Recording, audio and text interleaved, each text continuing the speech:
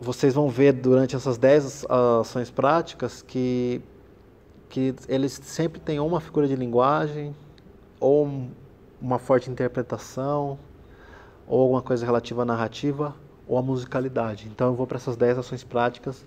São ações que eu já citei no, no, na minha websérie chamada Construtor de Rima, no episódio 2, que eu chamo de 10 maneiras de criar rimas de efeito, que eu coloquei punchlines.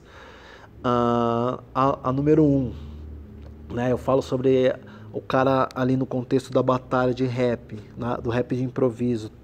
Estão os dois batalhando. Quando ele se coloca no lugar do adversário e fala em primeira pessoa é, dos defeitos do mesmo. Então ele usa a personificação da própria pessoa que ele está batalhando e se ridiculariza, mas na verdade ele está querendo ridicularizar o outro. Isso causa um efeito, é, um efeito, uma punchline.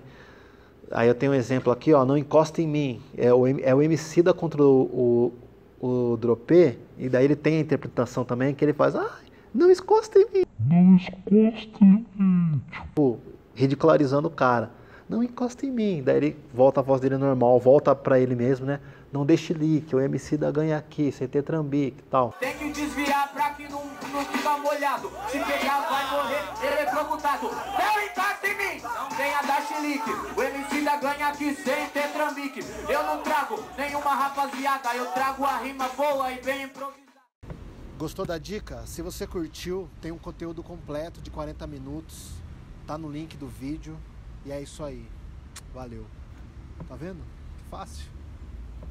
Garanta que você não vai perder nenhum episódio do Consultor de Rima. Cadastre seu e-mail e também receba o convite para fazer parte do grupo no Facebook. Te explico, consultor de rima.